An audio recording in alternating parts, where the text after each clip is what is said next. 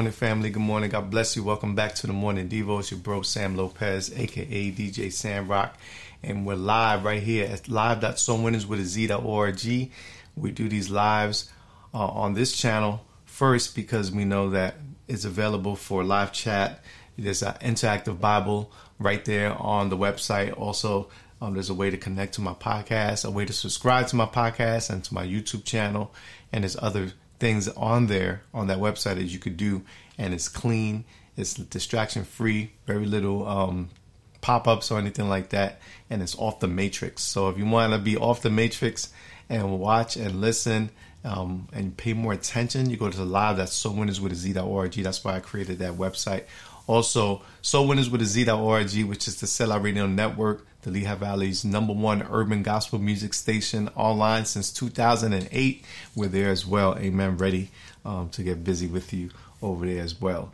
So thank you so much for coming through. Thank you for listening and watching. And thank you for all the one timers, first timers, and all those people who've been there since day one. Thank you so much uh, for your support um, since the very beginning. It's an inspiration to me to know that God still has people out there that are hungry for His word and want, are willing to apply His word in real time. And not just think about His word, but apply His word in real time. Today we're talking about confidence in God. Confidence in God. We're going to be in First John chapter number 5. Is it First John chapter number, let me see. Chapter number 5 verses 14 and 15. Amen. Today in the morning Devo with your brother Sam Lopez aka DJ Samrock. And the reason why I do these morning devos, a lot of people ask and they say, "How do you get the the content to do these morning devos every day?" It's simple. I go to the scriptures. I go to my um my notes here, and then I ask God, "What do you want me to talk about?" And what I don't go to the trending topics. You will never see me do that.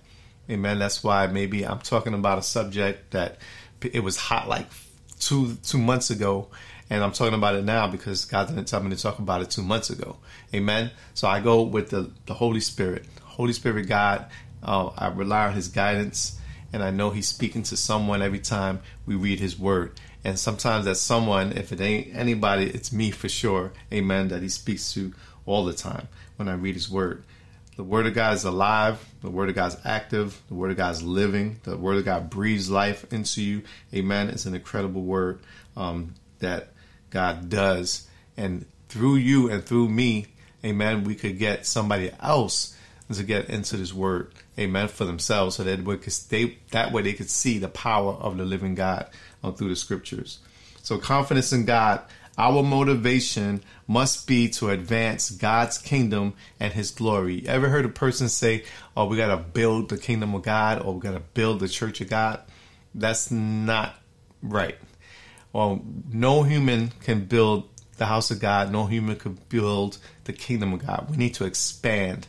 Evangelists like me, we expand the kingdom of God, the gospel message. Amen. And whoever listens, Whoever chooses to listen, amen, they will be blessed for listening. They will be blessed for applying what they learn. They will be blessed for trusting and putting their hope, faith, and trust in the Lord Jesus. Amen. So we're expanding the kingdom, not building the kingdom. Amen. So I used to say building the kingdom because that's what I heard when I was a young believer. Amen. But I realized in the scripture says we're supposed to expand the kingdom. The kingdom of God is already built. Amen. God built it. And the church of God is already um, put together, God put it together. Amen. He puts all the pieces, all the parts together. Amen. So we're actually in the finished work of what Christ already has done. But we need to move and be eager for his return and be busy about our Father's business. Amen. First John chapter 5 verses 14 and 15. Let's have confidence in God. A lot of people have confidence in this world system, confidence in their own things, confidence in this and confidence in that. Well, how about placing your confidence in God? Amen. And that's going to be your goal to have confidence in something. Place your confidence in someone named the Lord Jesus Christ. It's something called the scriptures, the Holy Bible. Amen. And that confidence will increase because when you see that the Word of God is moving, when you see that the Word of God is evidence in your life, when you see that the Word of God transforms you and renewed you and restored you, redeemed you, and took you out of drug addictions and sex addictions, and took you out of the streets and changed your mind and satisfied your soul, you're not going to want to go back to the world world's going to be done with because the world is old and decaying. The word of God is new and ever increasing and never expires. Amen. The word of God is new and the newness of life is where it's at. I don't know about you, but uh, uh when things get too old, I look at it and I said, nah, I don't want to deal with it no more. I have equipment in my garage that's so old that if I try to plug it into my system, it won't read anymore because it's not compatible anymore. I want to be compatible, not only relevant, I want to be compatible to God's economy, to God's system, to God's kingdom. Amen. And I have confidence in God um, for it as well. Let me just share this real quick to the group so that way they know we're here Amen. Thank you for your patience with me. So let's pray first. After we pray, we'll share this out for like 60 seconds. And when we come off those 60 seconds, amen, we'll get right into First John chapter number 5, verses 14 and 15. If you have any questions, comments, concerns, or any prayer requests, don't hesitate to leave it on the live chat. That's what we're here for. Even if I'm not live by the time you're watching this, amen, if something comes to your heart, something comes to your mind, don't hesitate to reach out Amen. That's what we're here for. So, Father, I thank you so much that we can have confidence and know that we're born again. Know where we go after this earthly realm. Know that you are our creator God. Know that you have gone and created a place for us and that you're coming with a new heaven and a new earth. Confidence in your word to be true. Confidence in your church. Confidence in the body of Christ. Confidence in the move of your Holy Spirit. Thank you, Lord God, that we can have confidence in you. Thank you, Father, for doing what you have done through your Son. Thank you, Jesus, for sacrificing it all, giving your very best so we could live our very best on this side of eternity, and there's more on the other side. Fill us up, Lord God, with the confidence, Lord God, that you want to fill us up with. Teach us in your word today by way of your Holy Spirit. Respond to the prayer requests um, that you hear daily, Lord God, from your children, from people who are in desperate need of help, who are in desperate need of financial breakthrough, who are in desperate need of relational um, situations because they feel all alone. I come against anxiety, depression. I pray that you help us all in those areas as well, Lord God. Suicidal thoughts, we cancel that in the name of Jesus. And I pray, Lord God, that you will be glorified and your glory will reach out beyond um, this this realm that we're in and this territory that I'm in that it will reach out to the outer parts of the world, to remote places um, that people will never imagine that this word will go to because we're expanding the kingdom message. Thank you, Lord God, for using me and using every single person that's available and that's willing um, to do your will on this side of eternity. In Jesus' name, I pray this and I cover everyone by protecting in Jesus' name with health, strength, and health to our body, strength to our bones in Jesus' name. And thank you, Lord God, for guarding and guiding us through this thing that we call life. In Jesus' name, I pray this by faith. And all those who agree, we say amen and amen. Help me share this out. We're going to take 60 seconds, share this out to as many people as possible. When we come back, we'll be in First John chapter number 5, verses 14 and 15. I'll be right back.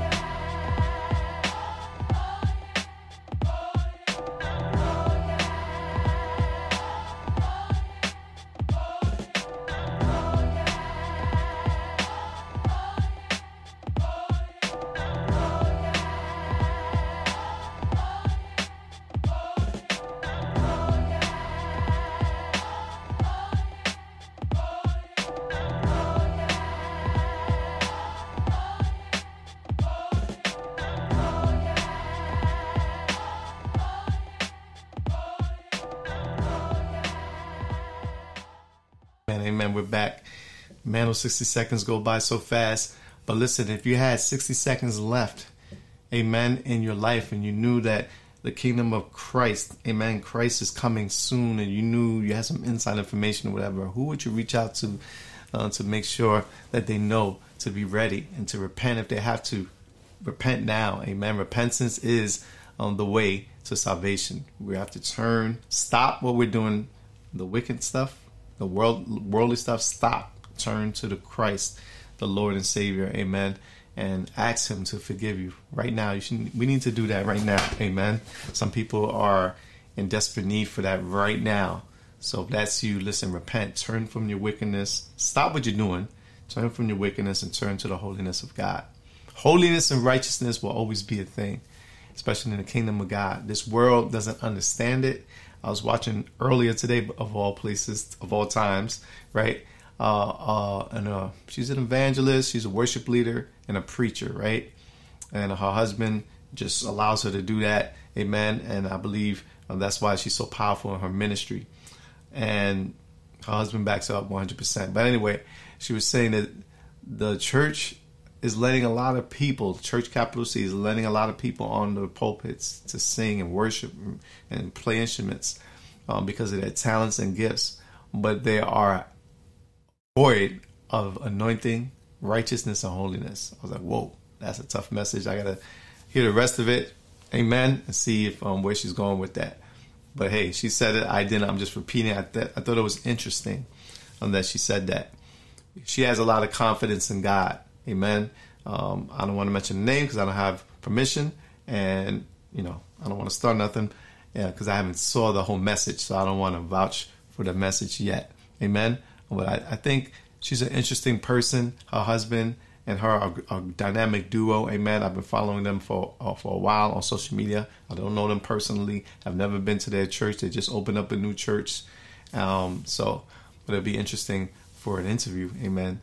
In the near future with them. So God, God willing, that will happen. Sister Joanne, I see you. Good morning. God bless you. Welcome back to the Morning Devo, my sister and my friend. Amen. It's good to see you. And I just realized I didn't share on the live stream on on the website. So let me do that ASAP as I get the get ready to share on the screen. Amen. Confidence in God. Who wants confidence? I want confidence in God. Uh, some people say I walk around with a lot of confidence in God. Amen. Sometimes I don't see it, but um, just because I'm in the Word all the time might be the reason why people think I have confidence in this understanding and this knowledge. Amen. I truly, literally rely on Holy Spirit God for every situation that life throws my way. So it's not, nothing like super dynamic or crazy special about what's going on in me and through me. It's all God. Everything that I do, amen. That's the Holy Spirit. Holy Spirit God I'm pressing you, not me. I'm not up here trying to gain likes or anything like that. I'm just trying to be obedient, amen, um, to what God had told me years ago what to do um, in this world and just moving forward with, with that. Amen. Move forward with that. Sometimes all you have to do is show up and believe God, trust God's word over your life, show up. Amen. And be available. Amen. Let me just make sure. Okay, we're here. Let me put this on the screen for those who are just listening. You already know I'm not to leave you out. We're gonna we're gonna you know show you. I'm going to read word for word everything that you don't see because you're just listening. And I think audio will always be a powerful tool um, for us to get into and to listen to the word of God is powerful. First John chapter 5 verses 14 and 15. This is the amplified version. This is the remarkable degree of confidence which we as believers are entitled to have before him. That if we ask anything according to his will, very important people preach, oh, just ask anything in Jesus' name and you'll have it. No. That if we ask anything according to His will, God's will, Jesus, His will, that is consistent with His plan and purpose. Please get that part. He hears us. That's if your prayers are not being hindered, right? This is full confidence in God. Your prayers are not being hindered. You're in right standing with the Lord. You're in good relations with your husband and your, or your wife. You're in good relations with people um, that did you wrong. You forgave them already, right? All that is into play. that if we ask anything according to his will that is consistent with his plan and purpose, he hears us. Verse 15, we're in 1 John chapter 5, verse number 15. And if we know for a fact, as indeed we do, that he hears and listens to us in whatever we ask, we also know with settled and absolute knowledge that we have granted to us the requests which we have asked from him. That's confidence in God. Now, we have to be careful. I know I have to be careful. I can't go around saying, even if I have so much confidence in God, God's going to do this and God's going to do this and do, do this and do that in my life, right? Going around saying that when I'm not sure if that's what he said. In other words, I could be hearing wrong. I was just sharing with a pastor friend of mine yesterday. He called me to see how I was, I was doing. Listen, that's few and far in between calls, and I'm very grateful for all the brothers that call me every now and then just to check up on a brother to see how I'm doing. Amen. You believe it or not, I don't get a lot of those calls, and I'm so grateful when somebody reaches out and asks how am I doing. Amen. And we have a, a great conversation from there.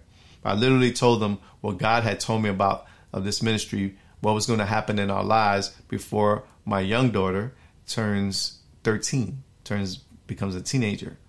And it's a big thing that God, I believe God spoke to me. And I'm confident that He spoke it to me. Confident.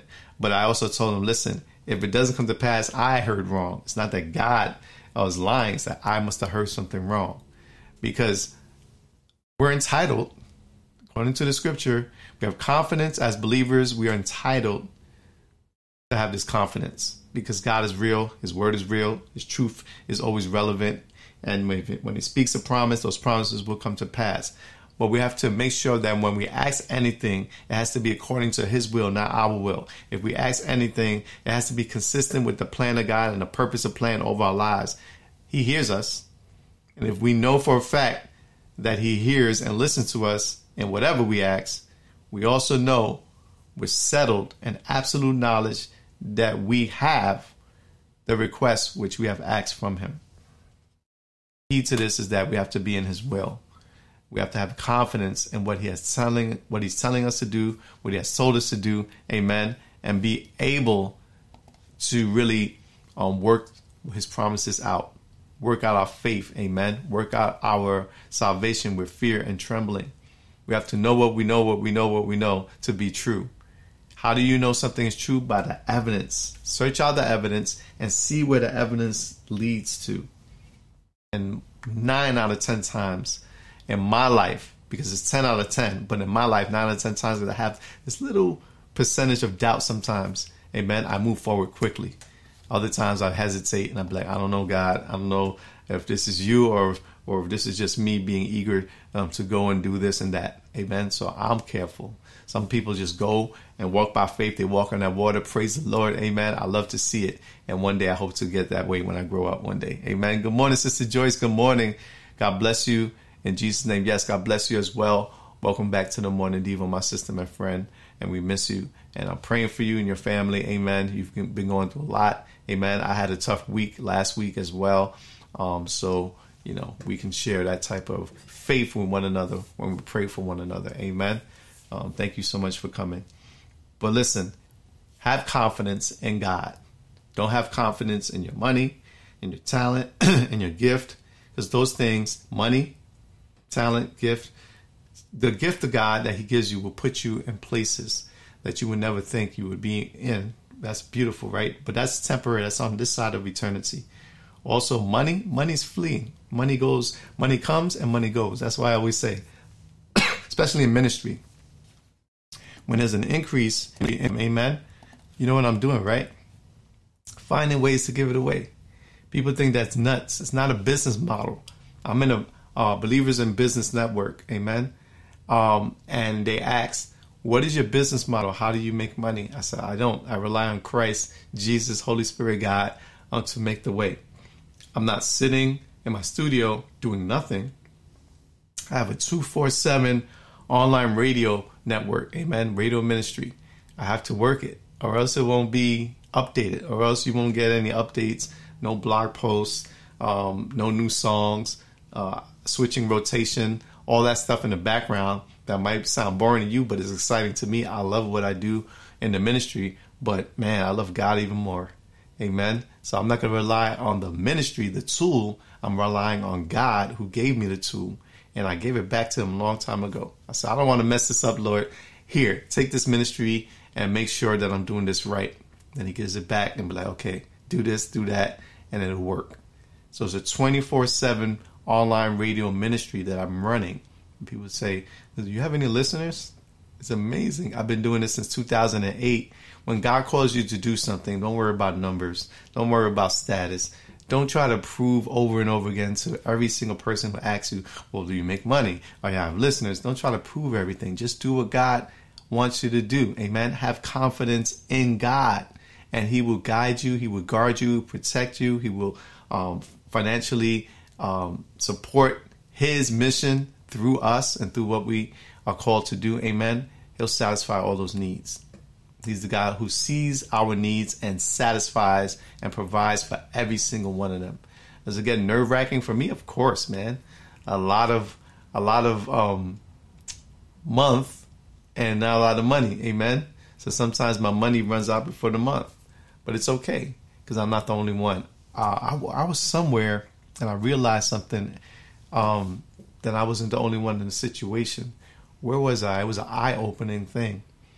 I, I, forgot where I was, and there was other people in the room, the ministers in the room that were like, "Yeah, man.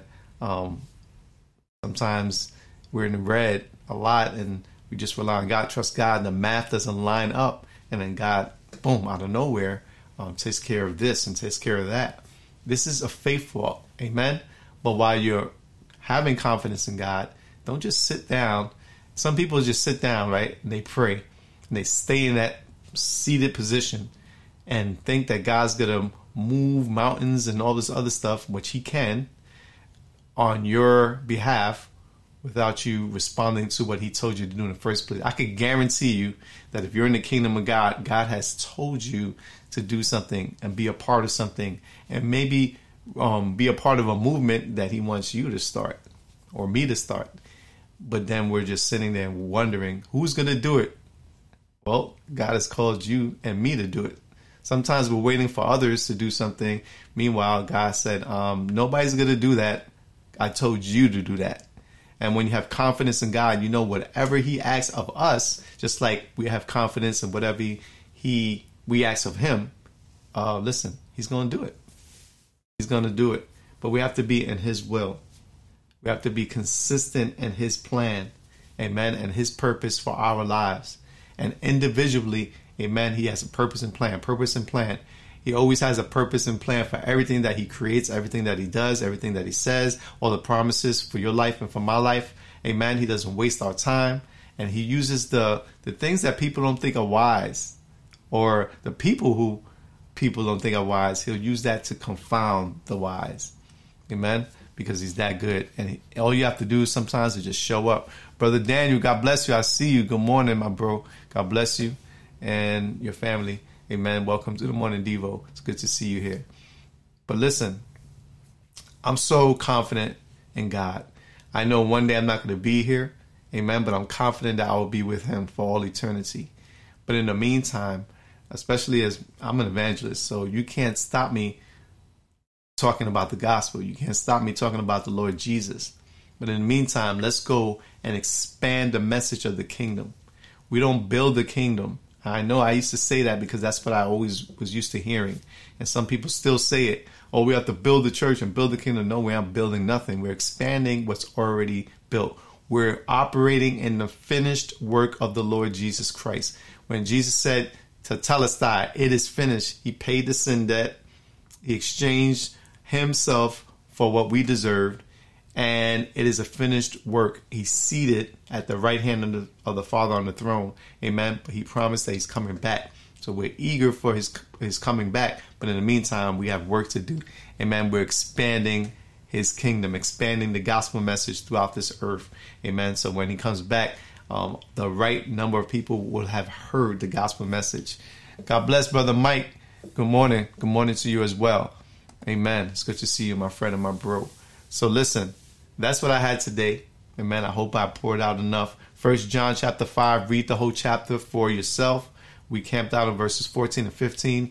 If you listen to it, if you read it, if you apply it, go to the amplified version of that scripture and you'll get those words in between that emphasize on what the thought is there. And man, you'll be blown away. If you're in the will of God, go for it. If you're not in the will of God, listen, take time to pray, take time to get in the word, take time um, for Holy Spirit to guide you and to teach you. Amen. Before you run forward without confidence. And once you get this confidence, run, man. Go forward. Confidence in God is perfectly okay in the kingdom of God for the children of God and for the people of God to move, man. Let's move in confidence. That's not cockiness. That's not arrogance. Amen. It's confidence according to His will and His plan and His purpose for your life and for my life.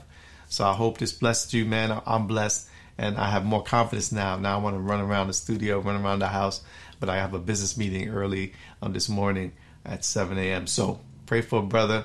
So, and I'll, then I have another meeting after that. But God bless you all. God keep you all. And remember always that God is good. Peace.